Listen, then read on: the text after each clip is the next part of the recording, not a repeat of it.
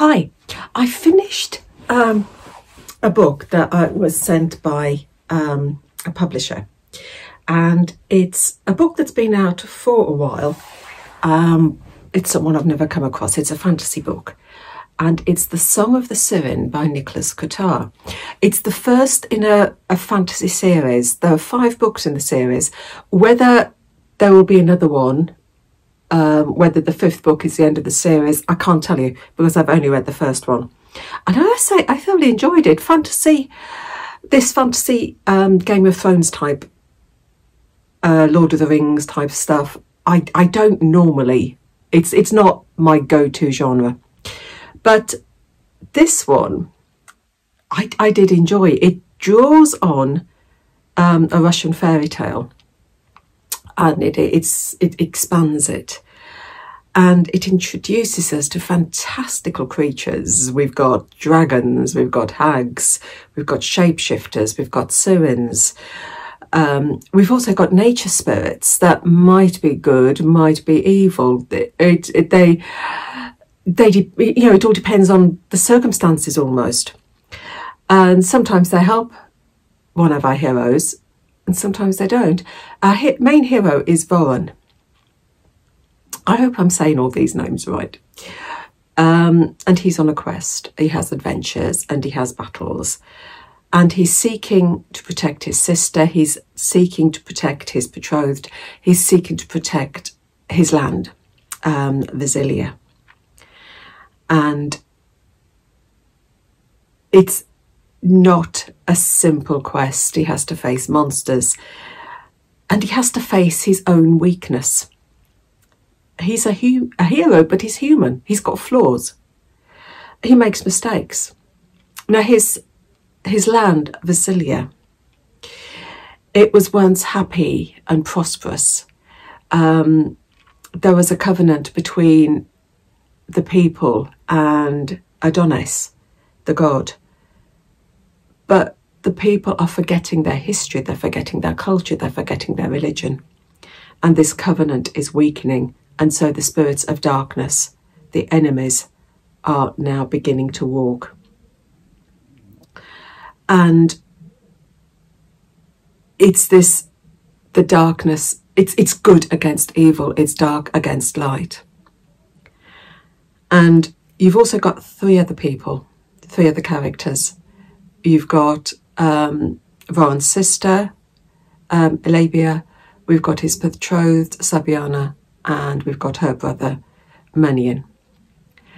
And again, they are, this quartet are all, you get the feeling this in this first book, this quartet are all going to be vital in this battle against good and evil.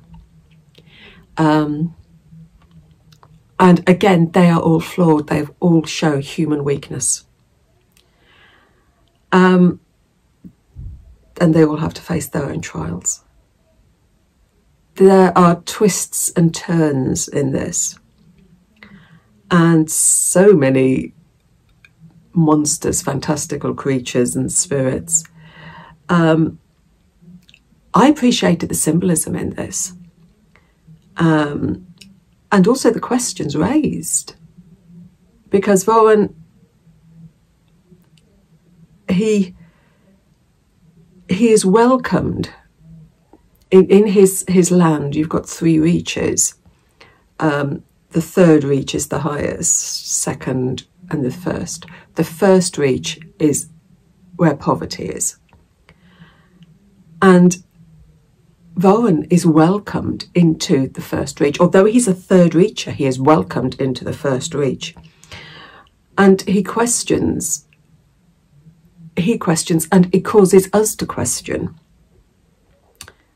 what happens when there's no need to strive for beauty and perfection, when everything can be mass produced cheaply and at a much lesser quality. What he's finding in the first reach is people who embrace the culture, who produce wonderful goods.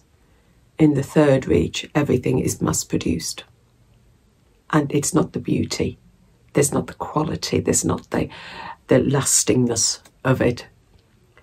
Um, the descriptions of the landscape, the descriptions of the world that they are in, are superb. And the creatures are so painted so vividly. There is violence in here.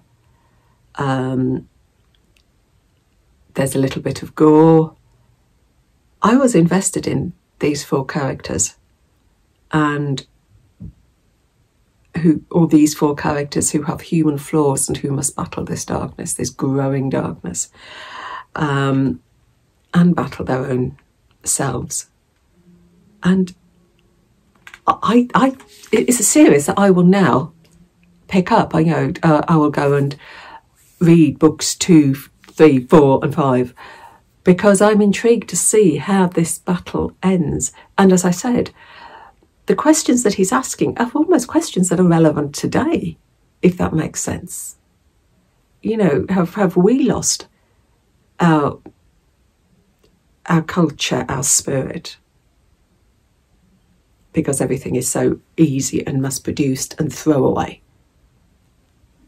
I, I thought it was really good. So that is The Song of the Sirin by Nicholas Kotar. Um, it is already out. Um, it's, it's one that I hadn't come across before, but one that I will pick up. And it's the Raven's Son series. I think that also is called The Raven's Son. So um, happy reading. Take care.